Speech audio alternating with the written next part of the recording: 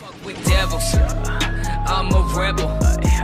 Big city got bitch, I got several. Bitch, I fuck with devils.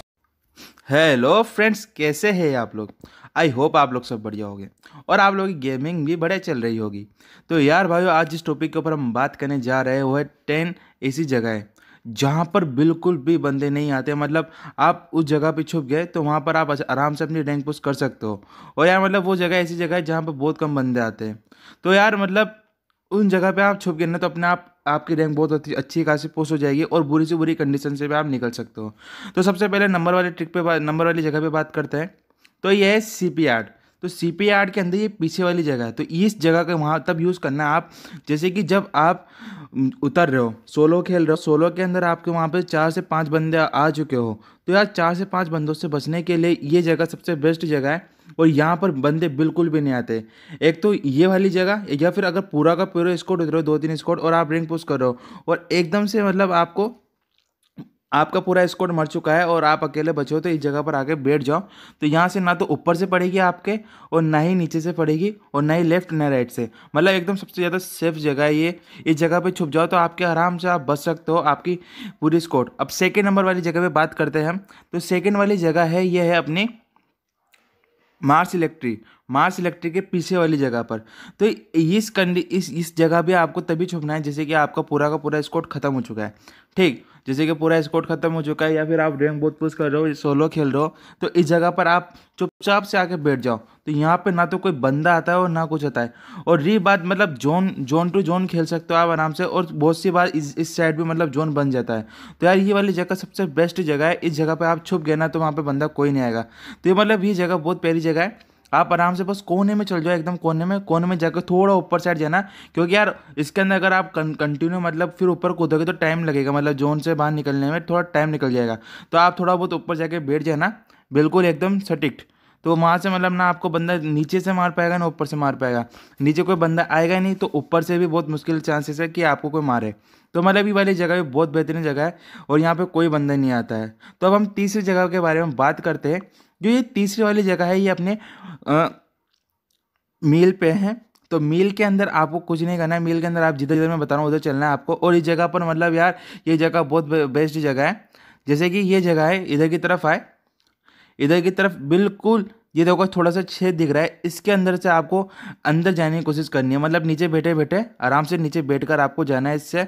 तो ये वाली जगह क्या है कि जब से गेम में अंदर अपडेट आया है तो ये ये जो जगह है थोड़ी बहुत छूट गई है। तो आराम से इसके अंदर आप जा सकते हो और इसके अंदर है ना, पर जाने से पहले आपको पहले जोन देखना है कि पूरा का पूरा जोन मील में बन रहा होगा, तभी इस जगह पे जाना, है ना? वरना मत जाना, क्योंकि इसके अंदर भाई, सबसे बड़ी नुकसान वाली बात ये है ना, अगर आप एक बार इसके अंदर चल गए तो इसके बाद आप बाहर नहीं आ सकते। देखो धीरे धीरे आपको आराम से जाना है इसके अंदर और ये अंदर चल गए। ठीक, अब इसके अंदर सबसे बेकार बात यह है कि अपन इससे बाहर नहीं निकल सकते। तो आपको इस जगह पे जाने से पहले आपको ये ध्यान रखना है कि पूरा का पूरा जोन मील पे बनना हो। पहला पॉइंट ये, अगर आपको पूरा का पूरा स्कोर मर चुका हो और आप अकेले बचे हो, और आप अकेले बचे हो तो ये वाली जगह सब, सबसे ज़्यादा सेफ़ रहेगी। तो अब हम चौथे वाली जगह के बारे में बात करते हैं। तो ये चौथे वाली जगह है, सबसे अच्छी जगह ये वाली भी।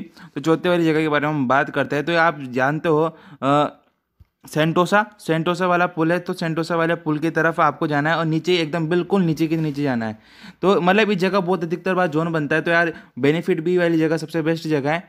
तो आप देख सकते हो मतलब इस इस साइड थोड़ा सा भी रुको, थोड़ा सा इस साइड कोशिश कर रहा था कि पानी के अंदर भी छुप सकते पर पानी के अंदर इसके थोड़ा मुश्किल है। तो सबसे बेस्ट जगह मैं बताऊँ आपको भाई, ये वाली जगह है।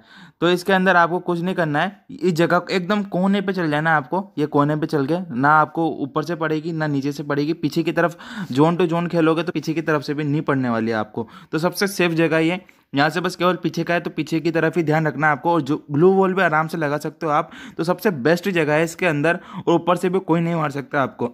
तो ये वाली जगह भी सबसे सेफ़ जगह है। तो इस वाली जगह के बारे में बहुत अच्छी जगह है मतलब ये वाली जगह बहुत बेस्ट जगह है। अब इसके बाद हम बात करते हैं पाँचवीं जगह के बारे में, जो पाँचवीं जगह है, वो कौन सी है? फिफ्थ पैलेस के बारे में बात करते हैं।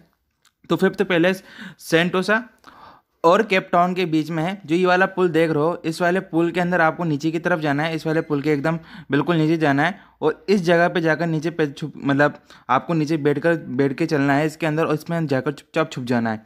तो ये वाली जगह बताऊँ, कहाँ काम आती है? जैसे कि आप सेंटोसा के इस साइड पर उतरे हो या आपको केप टाउन से जान बचाते हुए आ रहे हो तो इस जगह पर आप आराम से आकर बैठ सकते हो और छुप सकते हो।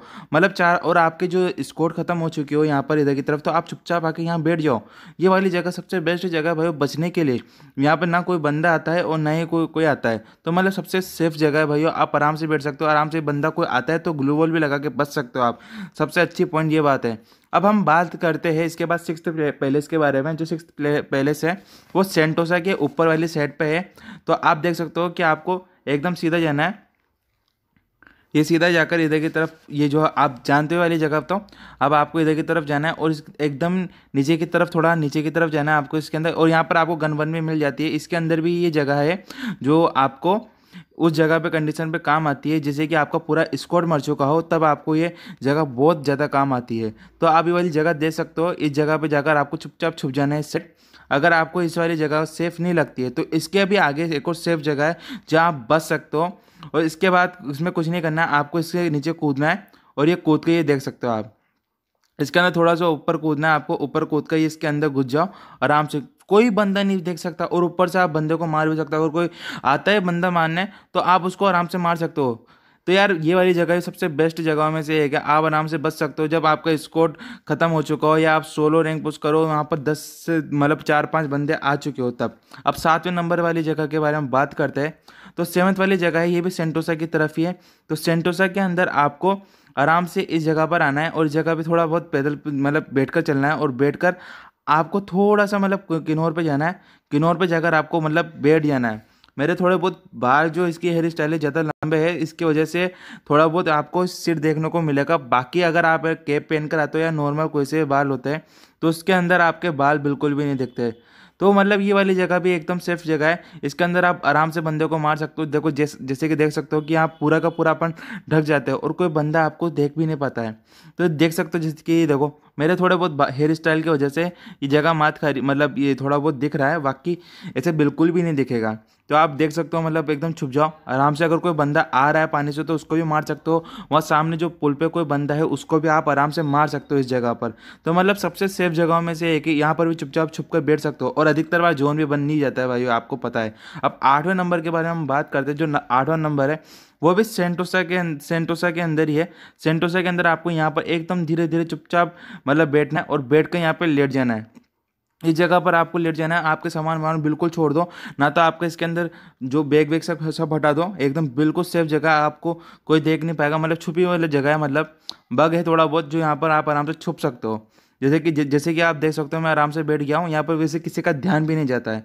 सबसे अच्छी वाली बात यह है कि यहाँ पर किसी का ध्यान नहीं जाता है, और यहाँ पर आप आराम से लेट भी सकते हो। तो लेटते आप मतलब बच भी सकते हो, और सामने जो पुल पे कोई बंदा होगा, उसको भी आराम से मार सकते हो। ठीक, अब देखो मैं लेट के दिखाता हूँ, इसके अंदर यहाँ पर ये देखो मैं लेट गया। ठीक तो ये जूते वूते थोड़े बहुत अपन ने कलाकारी वाले पहन रखे इसलिए दिख रहे हैं।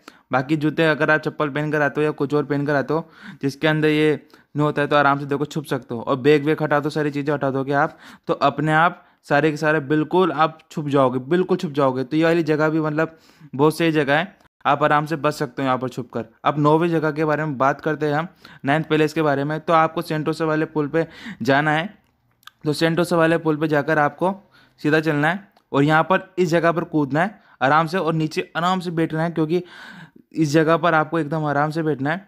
और ये देखो, इस जगह पर पहुँचना है आपको, इस जगह पर पहुँचने के बाद आपको डायरेक्ट नीचे जंप मार लेनी, बैठ कर। अगर आप खड़े होकर मारोगे तो आपकी हेल्थ जाएगी, पर इससे आपकी हेल्थ नहीं जाएगी अगर बैठ कर मारोगे तो। अब आप आराम से यहाँ पर बैठ सकते हो।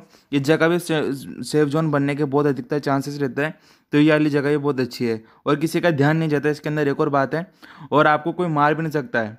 दूसरी बात, एक और अच्छी बात यह है तो आप आराम से यहाँ बैठ सकते हो। बुरी कंडीशन के अंदर ये जगह बहुत ज़्यादा काम आती है तो आराम से इस जगह बैठ जाओ। और बिल्कुल सेफ़ आराम से खेल सकते हो आप। तो यहाँ पर छुप कर बैठ सकते हो। और बहुत सी बार और मैं आपको जो ये ट्रिकें बता रहा हूँ ना भाई मैंने खुद ने पर्सनल रूप से यूज़ किए। तो मैं आपको तभी मैं आपको बता रहा हूँ वरना मैं आपको नहीं बताता।